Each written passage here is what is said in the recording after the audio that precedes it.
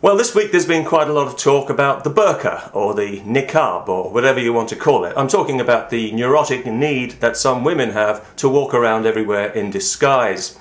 Ever since the French president said it was unwelcome in France, there's been a debate going on here in Britain about whether this ugly mobile tarpaulin should be banned. Although I have to say that if we were a more honest society and therefore a more healthy society, there'd be no need to ban this ridiculous outfit because it would already have been ridiculed out of existence.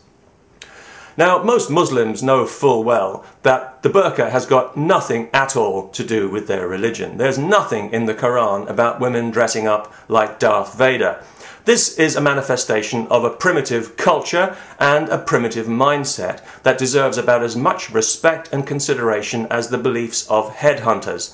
And as for modesty, please don't make me laugh. Modest people don't draw attention to themselves by dressing up in a mobile tent just to rub it in the face of a culture that they despise but for some reason insist on living in.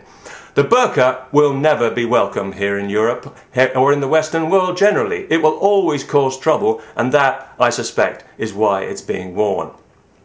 And there are plenty of good reasons to ban this horrible garment, but for me the best reason is the fact that it would offend Islamists, which I think is always a good idea.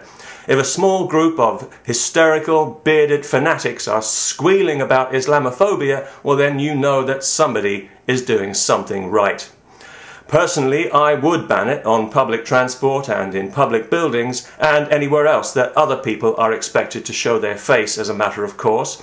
I also think that shops and banks should be allowed to refuse entry to anybody in disguise, and I think that those women who think it's a good idea to walk around in one of these ridiculous outfits should seriously consider seeing a doctor, not only for themselves, but for their babies, some of whom have been born with rickets because their mothers suffer from chronic vitamin vitamin D deficiency through lack of sunlight.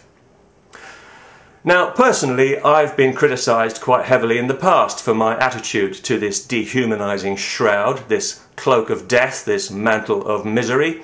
People have said to me, well, you say women should be free to live how they want to and to dress how they like, and yet you have ridiculed those women who choose to cover their face of their own free will. And this makes you a hypocrite and a racist and an Islamophobe, and a Jew, and a homosexual, and a filthy kafir who'll burn in hell, inshallah. Or words to that effect. Well, quite apart from the obvious security threat posed by the burqa, which we don't like to talk about too much out of respect for their religion, even though their religion is our biggest security threat, Sorry to all you peaceful Muslims, but we all know that is the unfortunate truth, at least right now. But quite apart from that whole issue, the burqa is more than just an item of clothing, isn't it? It's a political statement of very determined separation. So much for community cohesion. And it's also a powerful symbol of the status of women in the Muslim world, some of whom, even in this country, have no choice as to whether they are encased in these sartorial prisons. And that's why I believe that those women who deliberately try to legitimize this sinister garment in the free world to make some kind of cockeyed statement, I think those women are actively condoning and encouraging the oppression of other women on this planet, for which I think they ought to be thoroughly ashamed of themselves. I think what they're doing is deeply immoral. I think they're traitors to their gender, and as a symbol of their religious or cultural identity, they might as well be wearing a yellow star. I also find it baffling as to why it is that the Western feminist voice, usually so assertive and confident, is so muted when it comes to women in Islam. That couldn't have anything to do with cultural relativism looking attractively ethnic once you were all safely home and dry, could it, girls? Or maybe it just wasn't a very worthwhile cause after all. I don't know. What do you think? I would like to hear because the silence so far from feminists has been deafening and shameful. Everybody thinks so. Everybody's wondering where the hell are all the feminists. People even write to me and ask me, where are the feminists? As if I'm supposed to know. I'm just as puzzled as everybody else. But let me tell you what those shy, retiring feminists could and should be saying if they were anywhere to be found. And that is that any Western woman who makes allowances for or who accommodates the misogyny of Islam in her life is a fool to herself and a traitor to her daughters who will have to live with the consequences in a society where they feel less valued, less safe, and have fewer rights than they do now.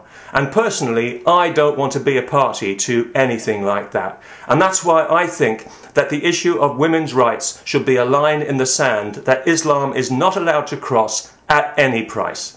The emancipation of women in Islam is one of the most important political issues on this planet because it's the only thing that's likely to civilize this crackpot religion of peace. And I think that Western governments who claim to stand for freedom and justice should be pursuing it vigorously and without compromise, regardless of anybody's feelings or cultural sensitivities, especially within their own borders.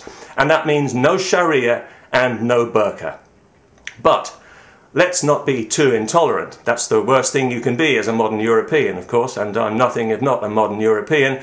So I wouldn't want to ban the burqa for absolutely everyone. Not at all. In fact, I think it should be compulsory for all Islamist men, especially during the hot weather. And maybe then we'd find out just how popular this thing really is. Peace. Especially to all the silent feminists. You know who you are even if nobody else does.